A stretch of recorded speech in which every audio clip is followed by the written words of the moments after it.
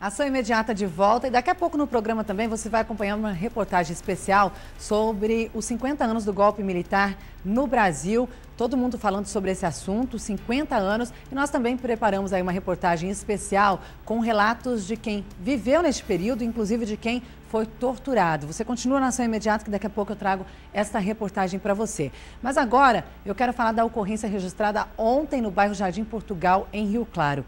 Bandidos armados invadiram uma casa, mas acabaram se dando mal. Dois foram baleados. Veja na reportagem como tudo aconteceu. A tentativa de assalto aconteceu nesta casa que fica na Rua 2, no Jardim Portugal. Três ladrões renderam os pintores que trabalhavam no local e anunciaram assalto para a dona da residência. A mulher foi rendida por um deles e trancada em um dos banheiros onde já estavam os três pintores. A princípio eu até achei que era uma brincadeira, mas deitei no chão, obedeci. Aí ele pediu que eu saísse eu saí de casa, já tinha outro na porta da cozinha esperando e me levou até o local da churrasqueira, onde tem um banheiro, e já tinha um terceiro lá na churrasqueira tomando conta do banheiro onde estavam, estavam presos os três, ah, os três pintores. Aí me colocou dentro do banheiro. Na casa ficaram as marcas da ação dos bandidos. Um deles foi rendido pelo oficial da reserva do Exército, dono da residência. Houve troca de tiros. Dois dos assaltantes foram atingidos. O maior, de 23 anos, foi ferido no ombro e nas nádegas, e o adolescente levou um tiro na perna. O terceiro, que também estava armado, acabou fugindo. É, houve um, uma reação por parte da, do proprietário, onde conseguiu desarmar o ladrão. É, nesse momento, um, um, terceiro ladrão que se encontrava no quintal, é, guardando a, os pintores, né?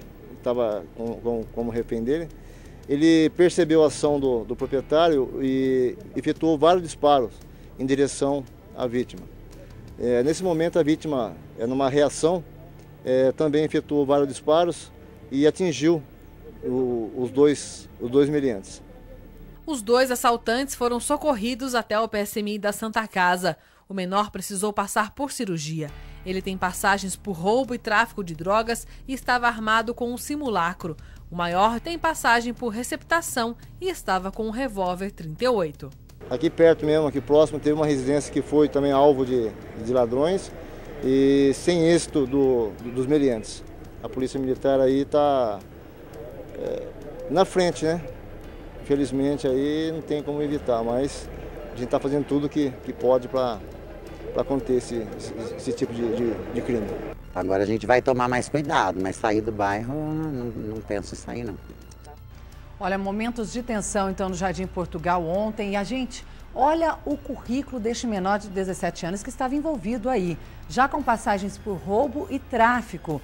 E de acordo com informações, ele já passou pela Fundação Casa outras três vezes, ou seja, pela quarta vez ele volta para lá mas parece que já decidiu o que quer, né? Daqui a pouco completa 18 anos e aí? Não mudou de rumo.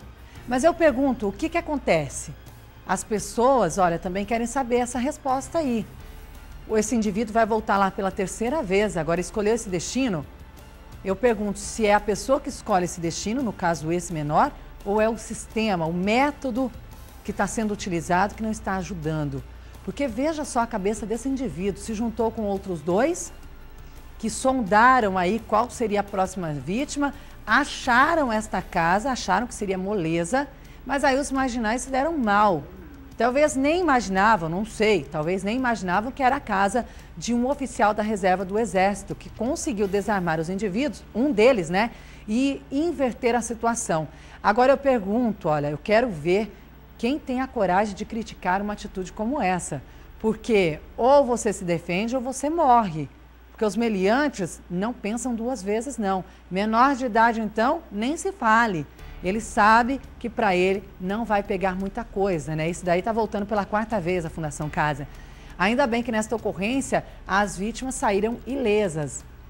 Agora, os bandidos, além de causarem aí terror, medo, pânico, mobilizar a PM, o SAMU, depois ainda deram trabalho aonde? No hospital.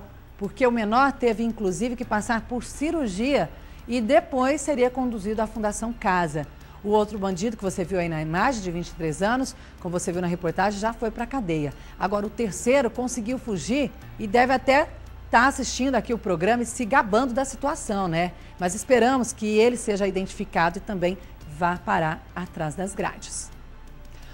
Olha, o policial relatou, inclusive, ali que já ocorreu uma outra ocorrência ali nesse bairro onde os bandidos foram presos. Foi no ano passado uma ocorrência bem parecida como esta que aconteceu no Jardim Portugal, ou melhor, a poucos metros desta residência que acabamos de mostrar.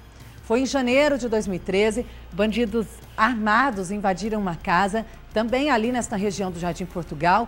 Eles, você está acompanhando as imagens, eles chegaram ocupando motos e renderam a empregada que fazia a limpeza na calçada. Um deles chegou a agredir o dono da casa, a arma acabou disparando e atingindo o telhado. A polícia foi avisada, chegou no local a tempo ainda com os bandidos na casa. Os marginais então trocaram tiros com os PMs e na época três deles foram baleados, viu?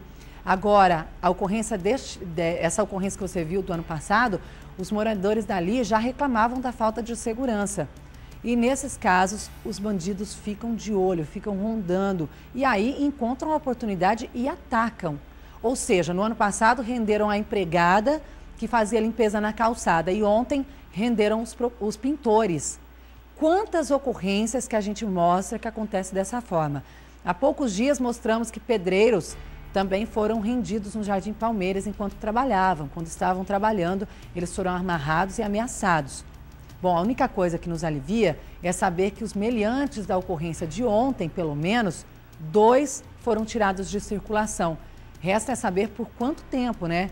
Porque, como já falei, o menor passou pela Fundação Casa, outras três vezes, essa é a quarta vez, e ele estava na rua de novo praticando o crime. A polícia, como diz, está agindo, mas não adianta esse indivíduo ir para a cadeia voltar para o mundo do crime.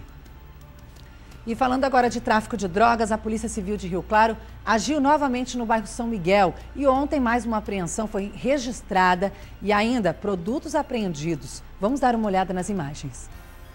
Por meio de investigação, Policiais civis prenderam uma mulher de 23 anos pelo crime de tráfico de drogas. Eles tinham informações que na residência no bairro do São Miguel havia entorpecentes que eram repassados para as biqueiras da região. Todo esse material foi apreendido para averiguação, além de certa quantia em maconha. E no bairro Vila Nova, um traficante também foi detido ontem à noite. O indivíduo tentou fugir, mas maconha e cocaína foram apreendidos com ele. Veja só ciência de um disco de denúncia que pelas proximidades do bairro Vila Nova estava ocorrendo um tráfico de entorpecentes.